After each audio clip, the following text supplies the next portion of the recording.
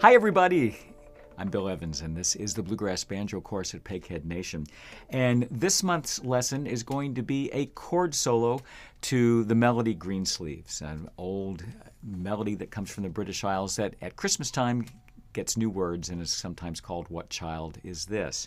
We're going to discuss a an accompaniment pattern that you can use in case uh, uh, at a holiday gathering or whatnot you might be um, playing this song, and, and, we'll look at what to do in the right hand in three quarter time in a slow tempo, and then we'll find the melody in the key of D minor, and then build a chord solo by just adding the chords underneath.